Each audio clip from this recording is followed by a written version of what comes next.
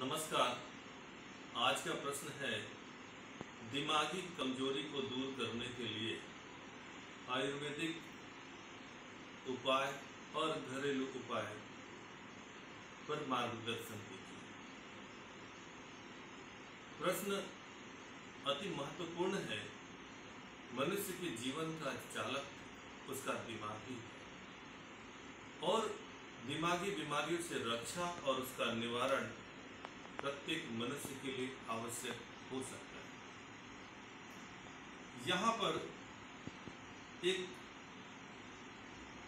रामबाण आयुर्वेदिक उपाय है कि प्रतिदिन 10 ग्राम ब्राह्मणिक चूर्ण को एक कप दूध के साथ मिलाकर के नित्य सेवन किया जाए।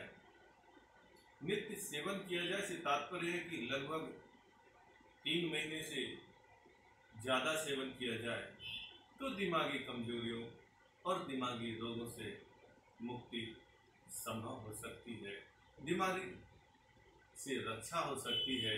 दिमागी रोगों का निवारण किया जा सकता है। लेकिन मित्रों, ऐसा करने से पूर्व अनुभवी नाड़ी वैद्य से परामर्श परहेज और सावधानियाँ योग ध्यान का अभ्यास और एक व्यवस्थित दिनचर्या का पालन करना अति आवश्यक है। ईश्वर करे, आप सभी दिमागी रूप से स्वस्थ रहे। हरिओम तत्सत।